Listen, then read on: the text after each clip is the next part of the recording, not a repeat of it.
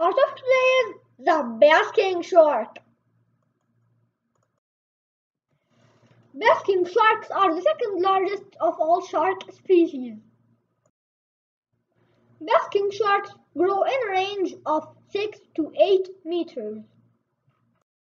The mass of a basking shark is 11.5 thousand pounds or 5.4 tons. The largest shark is called the whale shark. It is actually the largest fish. A whale shark is a fish, not a whale. I repeat, a whale shark is a fish, not a whale.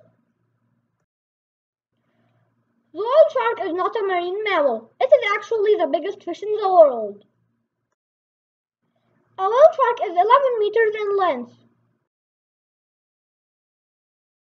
Basking sharks are not dangerous. They only feed on krill and plankton.